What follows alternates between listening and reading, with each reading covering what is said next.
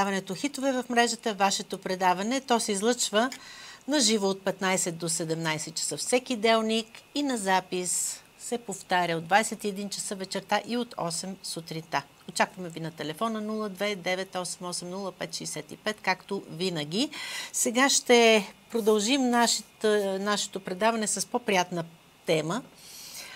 И тази тема я правим, защото телевизия България 24 подкрепя независимите творци в България, които малко по-трудно се справят с цялата бюрокрация и конюнктура, за да могат да се реализират. Сега при нас е Златина Юрданова. Здравейте! Здравейте! Тя е известна а, куклена актриса. Да, кукловод съм, завършила кукловод. съм надпис. И сега е при нас с нейния нов проект Мишока Трумен търси своите прадеди. Да. който е финансиран от Фонд Култура. Е, за да продължим, нека да пуснем Мишока да каже да. няколко думи и след това ще говорим. Да, тук видите моя приятел Мишока Румен. Аз съм Румен и се нуждая от помощ. Защо ли? Защото аз не съм слон. Аз съм мишка. А я ме вижте. Вижте ме хубаво. Великан. Че съм и червен. Приличам на слон. А моите родители са си най-обикновени мишки. А защо съм такъв? Всички се плашат от мен. Бягат. Не се събирам в мишите дубки вече. И за това мислих, мислих и измислих. Може би някъде из моето родословие имам прадеди, които са били великани като мен. Ами да, а може и още да живеят някъде. Затова тръгнах да ги търся. И търсих, и търсих, и, и... Нищо. Нищо не намерих. Така напълно отчаят се озовах пред мазето на Зизи. Когато приятел се нуждае от помощ, измисляш как да му помогнеш. И аз измислих. Всъщност Зизи е при нас. Да. а как се случи така, че Мишока Трумен попадна пред вашето мазе? Ами той е тръгнал да търси. своите прадеди? Да, тръгнал да търси своите прадеди. Български ли са му прадедите? Не знам. Ние не сме намерили всъщност. Вие ходите и обикаляте да. по разни места да ги търсите. Да, и търсиме следи, защото всъщност не сме намерили то откъде е произлязал. И затова е написан проекта. Кажете сега замисъла на този а, Той е сладур. насочен, проектът е насочен към приключенци, пътешественици, които си влизат в приключения. Освен това, много ми се иска да провокирам не само децата, ми въобще хората да, си, да се върнат към корените си и да изследват своето родословие. Защото самата аз, докато пишех проекта, пишех... Всъщност каз... ваш, ваш е сценария. Да, сценарий е мой. Всичко, целият проект е мой. В смисъл и, и сценария, и идеята. Всичко е... сте си измислили сами. Да, това е. Още да. от преди 4 години исках да се осъществи но кандидатствахме миналата година с друг с друго нещо за Национален фонд култура. Този път за първи път кандидатствам само аз, с моя си идея изцяло, която да се осъществи и тя наистина се случи. И то се случи много по-хубаво, отколкото съм си я представила. И то защото зад мен застанаха мои приятели. Безкрайно съм благодарна, благословена съм с мои колеги, които просто е така безрезервно решиха Бе, да ми доброволно, помогнат. Доброволно, без заплащане. Абсолютно доброволно. Може да кажете за... някой от тях. Да, разбира се, оператор на... А, двамата ни оператори са Лъчко, казват му Чеха, Стефан Куцаров, който е изключителен оператор, страшно добър, но който аз звънах. Аз дори не знаех, че ще участват. Нали, мислех а, по друг начин да бъде направено. И му се обадих, викам, ще ходя да снимам на две много интересни места, които са свързани с много силна енергия с а, една мишка, която си търси а, прадедите и иска да си намери следи. Супер, каза Стефан. Ние е, много обичаме. Доста екстравагантна да, идея Да, и той, че кой вика да ще ни заведе така да снимаме някъде навън из някакви си енергийни места. И се навиха и не само, че дойдоха да снимат, ми дойдоха с високо проходим автомобил, който е много важен, когато ходиш на някакви места, защото за да можеш да стигнеш до тях. Много от местата, по които аз обикалям, вие, вие двамата. Да, ние двамата. Е, за сега в този проект са ни само две. Само две неща са случени тук, са се случили. Това е скално светилище Провиралкията, която се намира до село Лиляч. И другото е една пещера, която за мен е смайваща. Абсолютно смайваща, абсолютно неизвестна е.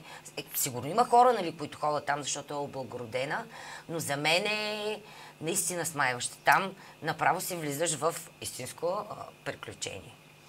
А, добре, сега ще стане въпрос за местата, където всъщност ти искаш да заведеш а, Мишока Румен. А, това са някакви български места, които са като а, с висока енергия, много специални. Да. И даже там стават чудеса един да, вид с наистина хората. се случват чудеса. Например, в провиралката. Да, да, абсолютно. Аз съм го чувала. Това място къде беше? До село Лиляче се намира. До село Лиляче. Кюстендилско. Да. А всъщност те такива провиралки има и на други места из Има, България. да, на много места има всъщност. Да. Аз съм се провирала на едно място в Странджа. Да, в Странджа има също. Да. Там има едно място, което, а, нали, смята се, че ще ти се сбъднат желания или ще имаш деца и така нататък, което е следното в момента, в който той е една висока дупка, дупка, обаче доста дълга, в, а, а, на една висока скала. Ти едва успяваш да се покачиш към нея, да. за да се пъхнеш вътре, след което нито назад, нито напред. Едва минаваш да. с 300 зора, след което излизаш нали, от другата страна на дупката, вече драпайки, защото тя и то е тесничко, като в тунелче. И буквално като чувал с картофи се изтърсваш долу. и е голям смях. Да, еми то зависи как подходиш. Нали? Но това е изпитанието. Нали? Да, да. Ами Специално за провиралката, първо аз изключително уважение, особено, че отидох и с кукла да снимам. Аз направих проучване преди това. Нали, на двете места сме ходили преди това с а, а, Роси, която е също част от а, проекта. Преди това ги проучихме с изключително уважение да не излезе така, че аз нещо се подигравам, защото когато има някаква енергия, тя може да ти се върне и обратно. И Вярвате наистина, ли в тези неща? Абсолютно, аз съм абсолютно убедена. Освен това, то се случи. Като снимахме в пещерата, Стефан не може да направи снимки оператора. Защо? Почна да играе цялото варио. Пика, ела да виж какво става. А това е от енергията. Ми нямам представа от какво е, но факт е, че той няколко пъти опита. Вика, не мога да снимам. Гледай, вика, виж какво се случва. На другото място по същия начин. А, момчил, който прави монтажа, вика, какво е правил Стефан, тук размествал варио, не мога да направя монтажа, вика, много трудно. Викам, не е размествал нищо. Просто енергията. енергията... Там има някакво магнитно, да, може би, лъчение. Сигурно, най-вероятно. Да. Дано не е радиация. Еми, не мисля, че е радиация, освен това, наистина там ходят много хора, на които това място помага. Защото то не е само свързано с това дали ще имаш деца или няма да имаш. А, свързано е с а, да се преродиш, да, да, да се освободиш от това, което ти тежи, от греховете си, които си натрупал. Не е нужно да са някакви огромни. Примерно първия път аз... Има катарзисен момент. Абсолютно. Първия път, първо той е толкова, всъщност той е толкова. И наистина е плашещо, като го видиш и а, си кажеш, аз не мога да мина до тук, аз ще заседна. Да, именно това се получава, да. Ми, аз тръгнах, аз три пъти даже минах първия път, като ходихме. Три пъти за по-сигурно, че ще ми се случат а, Нека да покажем желания. отново кадрите с провиралката и ако може да. Да. И какво казваш? Ето това е всъщност, виждате ли тук, където е тази чертичка, всъщност там трябва да се провреш, което то е 30 см съвсем а, малко е. Даже се чудих куклата как ще се провере. Тя ще заседне и няма да може да мине. Ние сме го направили така, че вече е излязла. Нали, за да не снимаме, защото кукловодно нямаше. Ето аз се провирам в случая, но, да, да, но аз вече е бях много, ходила много преди малко. това. Тук специално това провиране спрях, помолих много и все едно ми се отвори, ей така, ама наистина все едно се отвори повече пространство, просто така го усетих. И що, даже и като излезеш, то е една скала надолу, всъщност ти можеш да паднеш. Ти не стига, че пълзиш, и ми, след това трябва така, пълзявайки да продължиш нататък, нали, за да излезеш от тази Горе-долу като моето преживяване. Да, Стефан, примерно, човека много искаше оператора, два пъти се опита да мине. Аз викаше заседна. Имаше един местен, който му каза, нали, че много по-едър, защото той е по-едър такъв, че по-едри хора са минавали, той се амбицира, вика, аз ще мина. Стигна до някъде. Не, вика, не мога.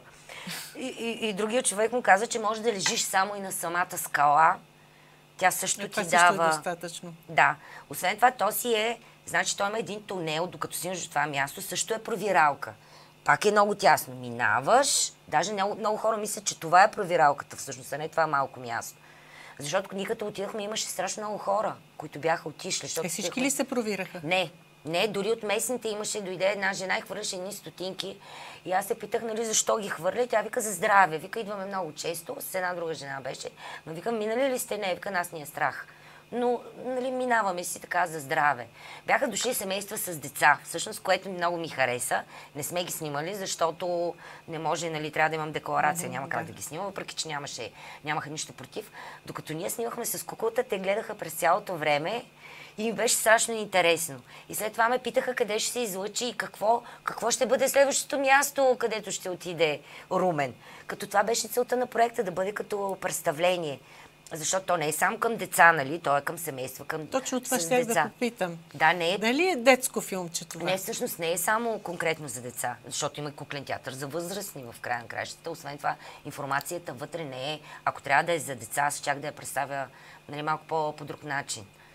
Тук казвам, има, без да имам претенции за някакви археологически факти. Това, което аз съм проучила. И понеже съм с кукла и с мишка, той може да си открие каквото си иска. Тоест той си има собствена воля. Да. Той си намира, както там на провералката. Може наистина. би и свободна воля. Има си свободна воля. Аз съм му дала, вдъхнала съм му живот. И а, той е залепен, живее у нас. Има си стая, спи си на детско легло. И, а, Как реагираха децата? много се, много се зарадваха. Много наистина имаше отстрани, защото а, първо, с, а, първо всички хора се зарадваха. Условие, че бяха дошли, кой знае откъде нали, за да минат през това място. А, уважиха това, което ние правим, за да изчакат. Ние снимахме много бързо и гледаха с а, пълените. Имаше най-различна възраст деца. Мълчаха, нали, защото иначе влизат гласовете, вътре се чува и мълчаха, смяха се, а, идваха да го пипнат след това. Много приеха го, особено имаше едни по-мънички, абсолютно като едното се оплаши, даже защото той наистина е великан, нали, много е голям. И се чудиха какво защото той прилича на слон, а всъщност е мишка, наистина е мишка. А някъде е изработена тази кукла? И ми да, тя си ме намери. Няма да- сценограф, в случая не. Да. Нямам сценограф, който специално ми е направил, но в, бъдещето, в бъдещите ни пътешествия силно ще се надявам той да срещне някой друг такъв като него, за да могат да пътешестват заедно. И, и въобще, за да се случат нашите пътешествия по-нататък, а, ще се наложи едно финансиране, което нали, до тук с този проект сме го приключили. Само за два спектакъла? Да, само за двечки, които, нали, които са доброволно участие от моите колеги. Но за да се направи едно такова нещо, значи първо- Като серия. да, за да се случи, защото това е а, Национален фонд култура ми даде старта всъщност, за да мога аз да го развия нататък. Вероятно пак ще кандидатствам по друг проект, стига да имам възможност нали, да пуснат някаква такава програма, отново творчески инициативи, ако се пусне, защото там мога аз като физическо лице. А, или, ето, сега очакваме пусната е програма Творчески стипендии, също там също съм си подала документи. И ако дадат нали, парите, за, кои, за които се е писано в програмата, ще направя още едно. Избрала съм даже къде да бъде едно място в Шумен, в което открих скална рисунка. Не знам дали е автентична. Аз я намерих. Кой знае какво ще намери Румен? Нали, не знам какво ще открие. В тази пещера, исках да ви... Второто, нали, втория продукт всъщност е в пещера Свирчовица, която се намира срещу пещера проходна до Карлуко, в Карлуковски скален комплекс. Очите на Бога, нали, е много известна пещера, тя е много голяма. Другата обаче, която е само на 100 метра, има си табелка, никой не ходи в нея. Тя е напълно облагородена.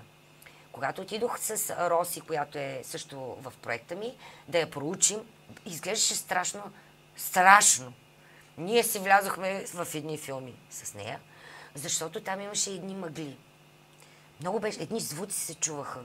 И аз открих високо а, стъпка, истинска, великанска, ама истинска, наистина, аз съм я пуснала в проекта, просто я направих на друго място да я открие.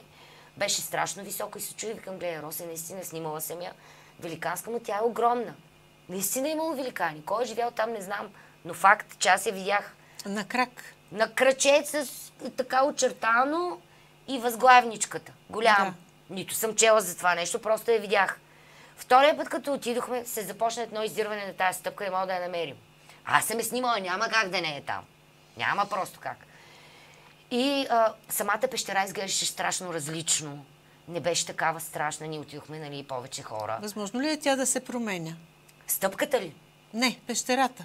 Ами променя се от към енергия, според мен, защото не изглеждаше така. Първо беше много приветлива. Освен това, там пък намерихме, докато аз снимах, а, Анелия, която снимаше отстрани през цялото време, вика, ела да ти покажа какво... В една е такава дупчица, тя се качила там, се навряла и, и снимала едно, имаше розово, като пашкул. И вече ни идва филм и край, извънземните за тук. И тя вика, ма това е скала. Викам, да, бе, верно, защото то наистина изглежда като пашко. Аз прочетох, че там има сталактити, сталакмити, някакви кристали, които аз не съм ги видяла. Нали? Те са явно нагоре по етажите, не съм го намерила. Но тази скала си беше там, розова. Оказва се, че е камък, който прилича на дядо Коледа такъв. Но не можахме във филмчето да го включим, защото беше много опасно а, първо за оператора, сега имаше едно такова пространство. Отдолу всъщност има огромни пропасти, които ние сме ги снимали, ма те мащаба не се вижда всъщност колко са огромни. Но самата пещера е напълно облагородена. И всъщност за това съм избрала две места, които може много са достъпни. С автомобил може да се стигне до там. Ако тръгнеш пеша, нали, не е толкова далече. И няколко пъти повтарям, нали, да се внимава, да не се катерят някъде нагоре, а да нали, в облагородената част. Добре, има ли някакъв патриотичен момент в този замисъл, в този сюжет? Абсолютно. Това е да се водят на такива свещени български места. Ами те може и да не са свещени. Има толкова много красиви места, древни. Не, някакви уникални. Това да, има предвид кои, такива. точно така, които те са мастотици са, които си стоят забравени. Някои от тях са почнали да се рушат, което е много тъжно. Или са пълни с букуци. Отиват, не знаем защо си хвърлят букуците, ти отиваш и виждаш едни хвърлени бутилки, които... А това място е супер древно, не се знае от коя цивилизация е. Отидох на едно, което имаше уникален кладенец, е такъв обсерватория или какво е, а, което просто ще се съсипе. Едни букуци хвърляли отдолу. Защо? Защо ги съсипвате? Освен това, аз имам много приятели в чужбина. Той е насочен и към хора, които живеят в чужбина, които те като се върнат, обикновено са си разчели дните, защото си идват много за малко и отиват на море или на някакви такива нали, по-известни дестинации. И те като дойдат, те имат и деца, нали, някои от тях са големи, и аз като им разкажа, ма кажи ни къде си ходила пак. И аз почвам да им показвам снимки. Тук съм намерила еди си кой водопад. Тук съм намерила огромно в, в Шумен, при нас а, съм от Шумен. Има уникално едно светилище, което въобще е супер, страхотно е, което си стои така изоставено. Ма къде вика го намери? Прочетох в интернет, забележителности просто пише и аз си ги намирам. На един от моята приятелка, едната, тя живее в Германия, двамата и синове са много големи, изпрати ми съобщение. Аз разбрах, че ти ходиш по еди си какви места. Напиши ми къде мога да отида аз. Викам, с кола ли си? Не, къде? И, и той прояви интерес. И от тук викам, супер, значи ще направя проект, в който аз да разкажа къде има такива места и как се стига до тях. И по един нещо... интересен начин. Да, който, който да бъде, е... защото има много блогове всъщност, които разказват за... Има, аз съм в такива групи също, които има снимки, страхотни са. Но една друга, една кукла, която може да ви вкара в приключение. да си влезете във вашата приказка. Защото аз наистина влизам. Аз като хода по такива места се вълнувам. И край, кой знае какво ще намерим там. Някъде се разочаровам, но пък намирам нещо друго. И след това толкова се вълнувам. И, и като раз... Не, всеки се вълнува от каманяк, например. Но гледа, вика как се развива. И аз като покажа се, вижте, тук ни гледа извънземно. Да, добре, къде ни гледа? Абе, вижте го, той е тук. И защо не да, да не си живееш пък? Пак сме в реалността, ама а, да е малко от от друга гледна точка. Да, да. А интересно е това, че аз ще ти споделя един мой опит. Когато снимах преди години един филм за Вера Кочовска, тогава към БНТ, отидохме с един оператор и тя, е, тя беше доста особен човек. Имаше моменти, в които се сопваше такава.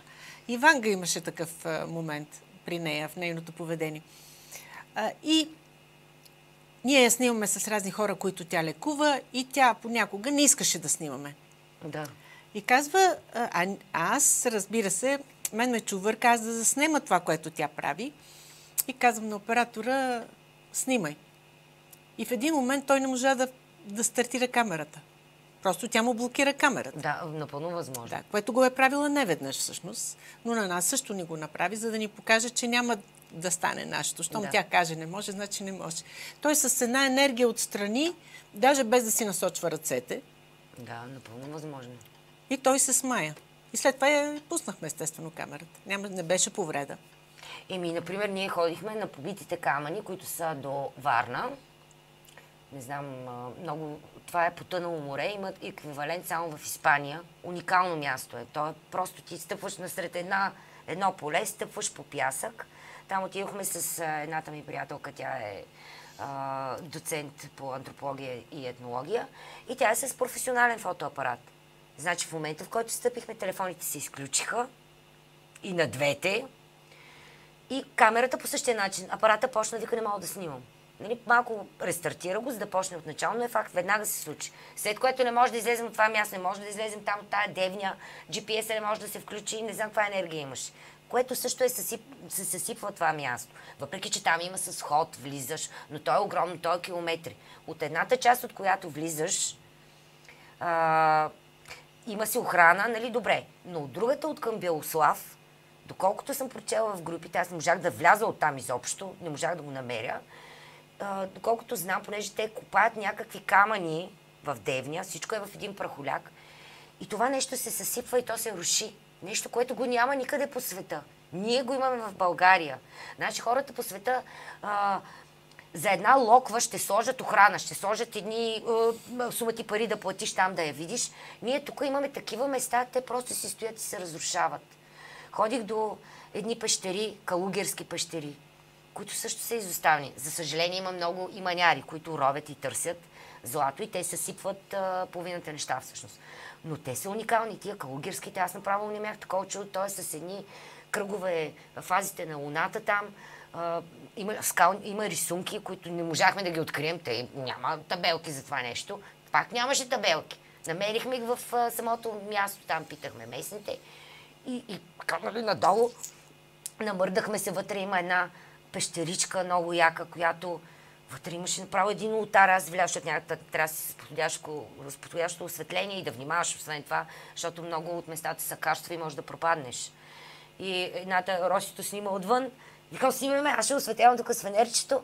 И наистина изглеждаше уникално. Там са правени някакви ритуали, не знам какво се е случвало. Излязох много бързо, защото сега да не, да не прекаляваме. Но след това излизането беше и викам, няма да се върна по тази пътечка, защото ние е така надолу. Викам, ще използвам от някъде другаде. То е на самото шосе. И ние се черни коси. И се започна едно използване нагоре, ма точно като духове. На самото шосе. И никой не знае, че там има такова място. Ние сме си прочели в някой от групата, нали? Отидохме да видим дали наистина съществува. Не успяхме да открием скалните рисунки. Но някъде има. Въобще има на едно място сега ходих. А, една огромна пропаст, 25 метра, в едно село, за което няма табелка. Аз си прочетох в интернет, просто съм прочела.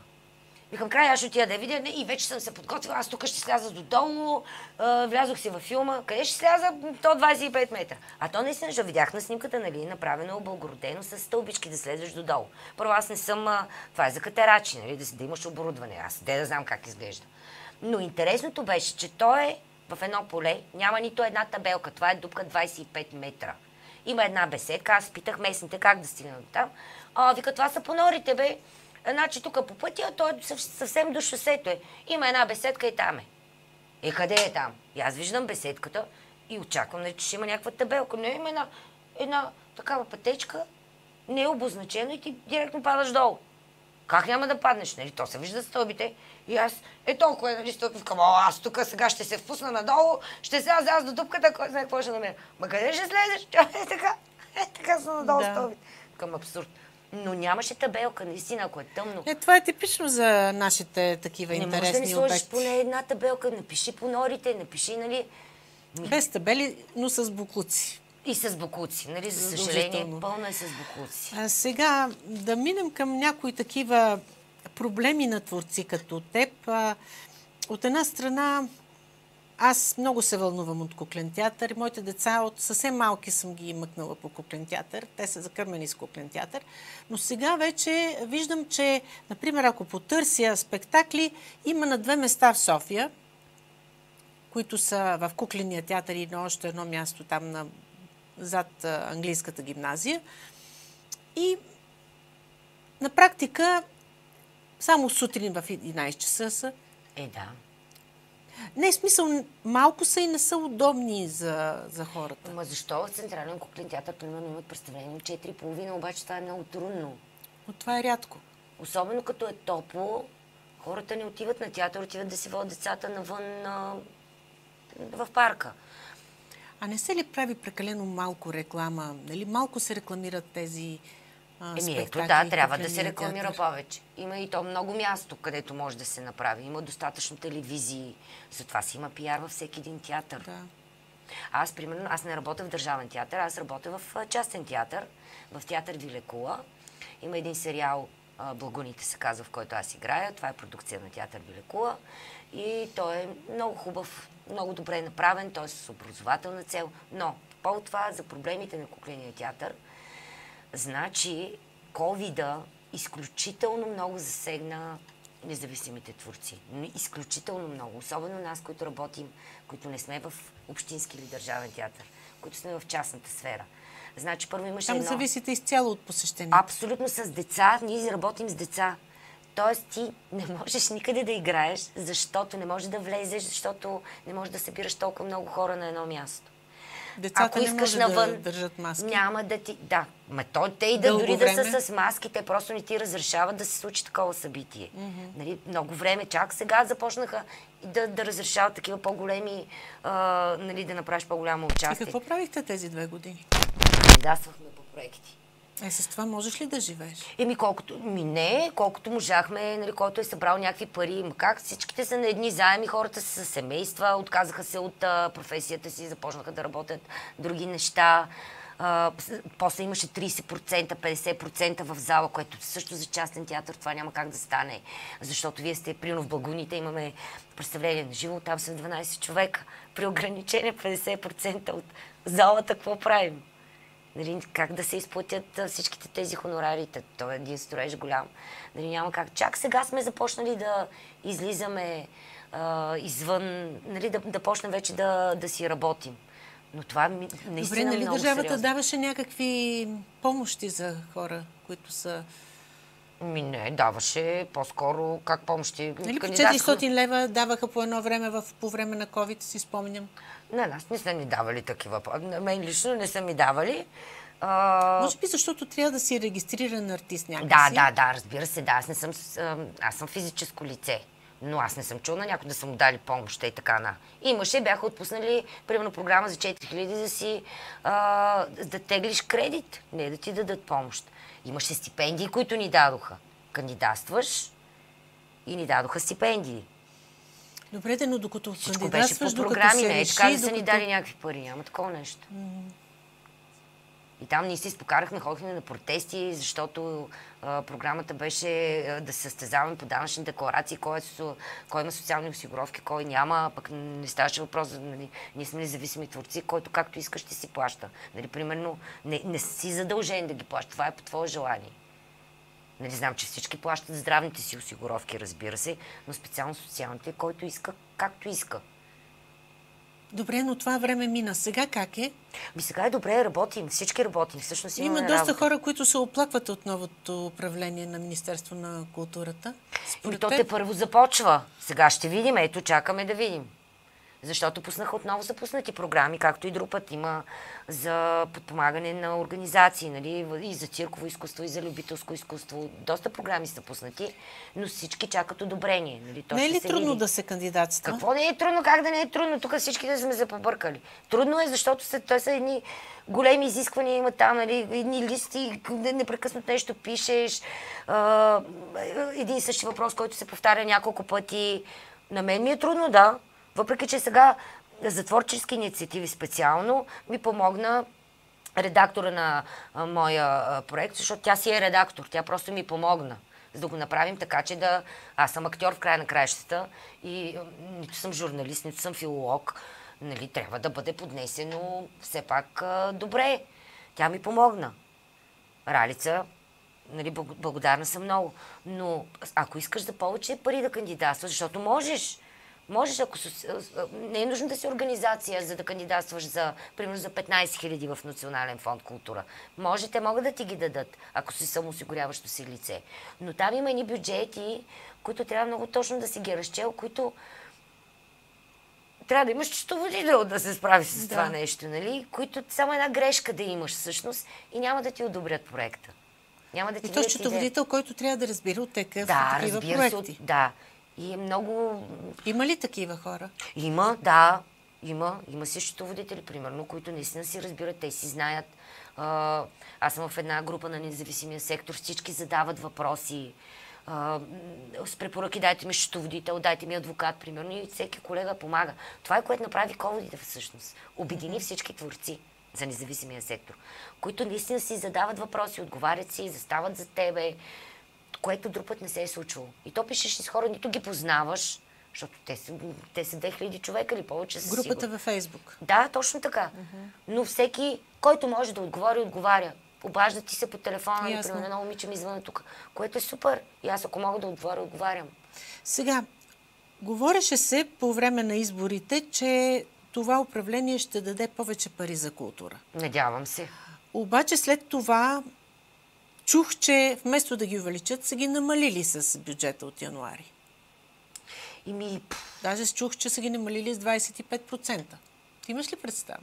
Еми, аз не съм гледала за другите програми какви са им бюджетите, доколкото видях нали, за подпомагане на организации специално са до 100 хиляди имаше, нали, може да кандидатстват, което беше и миналата година, въпреки че там бяха одобрени страшно малко хора.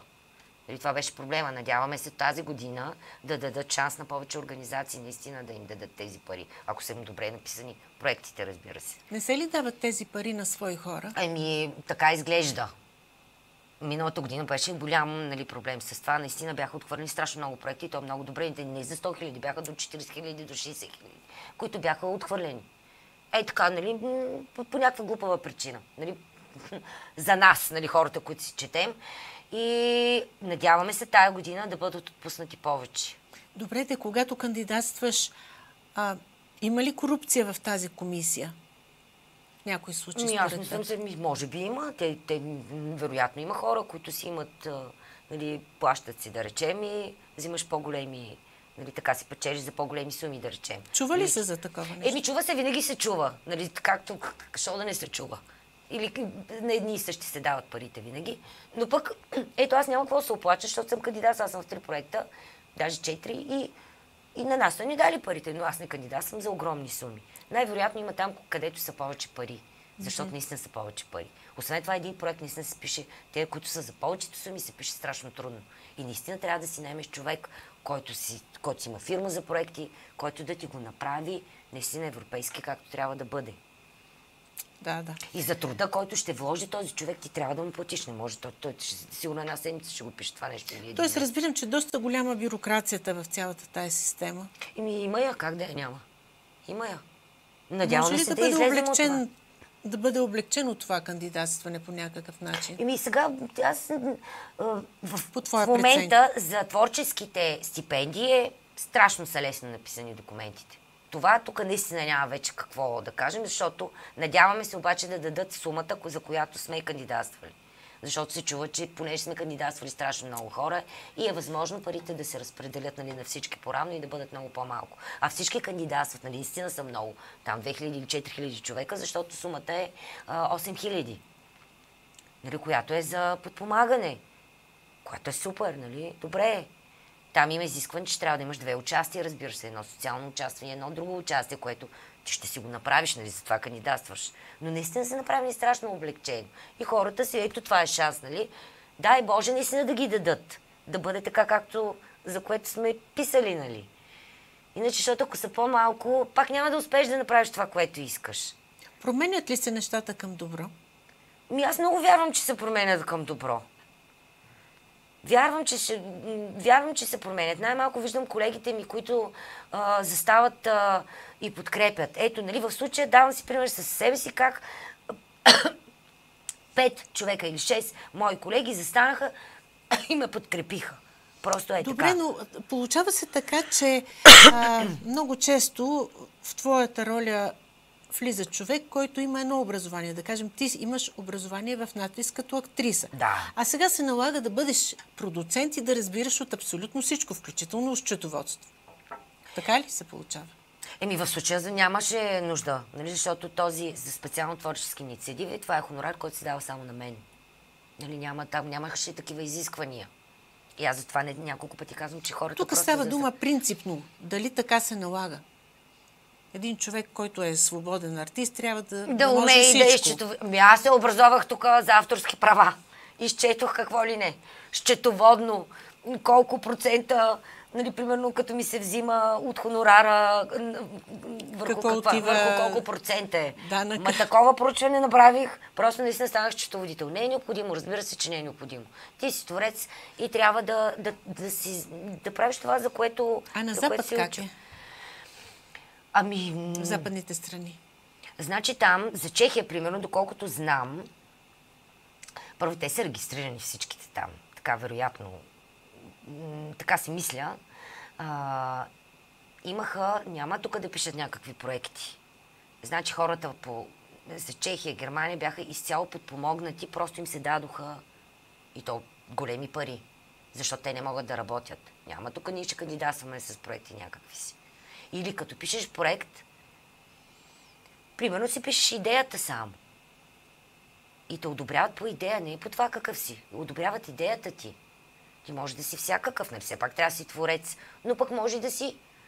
Ня... Чу, такъв... Някакъв гений, който сега... Разбира се, който също е влязъл. Няма нищо. Това са си програми, в които сега, ако можеш, знае ли човек какъв гений пък верно се вкрие в мозъка. Защото творческия мозък всичко се да, случва. абсолютно. Така е. Така е. Примерно за щатите също така им, просто им, едни пари им а, а, вложиха в банковите сметки, дори не ги уведомиха, хората виждат си подпомагане за COVID. Но това е за всички хора, не е само не е за артистите. Не, Специално. не за артистите конкретно говоря. За Гърция знам също, че нали, не за творци, там имат много сериозна държавата се погрижи. За, за всички. Сега на нашето правителство многократно казаха, че Асен Василев, че в културата няма да се дават така пари, само по проекти. Защо да не се дадат? Добре, да е хубаво дават ги по И проекти. защото той може би смята, че все пак трябва да има някакви критерии, а да не се дава така широко. Еми, нека да има критерии, нали? Защо да няма критерии? Има... То се вижда на всеки дипломата какво е завършил. Това не е ли достатъчна, достатъчен критерий? Ами някой да каже, може да е завършил, но може да не работи. А той трябва да получи нещо. Да, това е друго след това- вече. Нали, това е друго. Нали, въпросът е този, това има там си пишеш автобиографията и, и има годините и да, какво си правил в тези години. Което аз съм абсолютно за, нали. Разбира се, нали, все пак дали си имал творческа дейност, иначе, защото ти можеш да си работиш а, в кол-център, да речем. Но пък ако имаш идея, това, че си работил в кол-център, имаш идея прекрасна, защо да не я осъществиш с тази програма? Написал си книга през това време, защо не? Всъщност с тази политика, култура по проекти, може ли да съществува един независим творец? аз като физическо лице да ми се даде възможност за повече пари. Да се, защото, примерно, отпуска се 4000. С 4000 аз не мога да направя кой знае. Аз съм и кукловод, какво по-точно да направя сам. Нали, зад мен трябва да има други хора. Няма как сама да го направя. Да се отпусне по-голяма сума. Защото така няма нали, да, как да се случат нещата. А иначе то си има проекти, нали? Не, че няма, отпускат се суми. Има до 15 хиляди, с които можеш нали, цялото 100% да ти се даде. Оттам татък имаш, вече ти самия трябва да имаш някакви проценти, които да си вложил. Но, защото има много, които са физически лица, като мен. Абсолютно, които също имат страхотни идеи, но как да го осъществиш с ни 4000 лева? Няма как да стане. Добре, как се справяш ти? И ми, ето, застанаха зад мен. Аз работя на много места. Аз работя с Фундация Детски събития, работя в театър Вилекула, водещ съм на детски събития, на рождени дни. Това така се справям. Иначе няма как да се справя. Но много ми се иска това, което съм направила с моя ромен.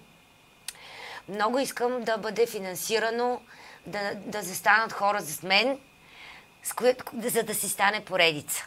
За да може да този екип, с когото работя, те да си, а, нали, да, си, имат заплащане за това нещо, да си получат а, хонорари за монтажа, който момчил, примерно и Лидия.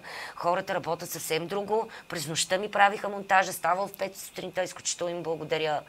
Нали, или операторите, които дойдоха е така на добра воля за, всеки, за всяко това нещо, сектор се заплаща и те да бъдат мотивирани, нали както нали, да, да обикаляме из цяла България, да трябва да имаме автомобил, бензин, хотели. И ако това се случи, то не е чак кой знае какво.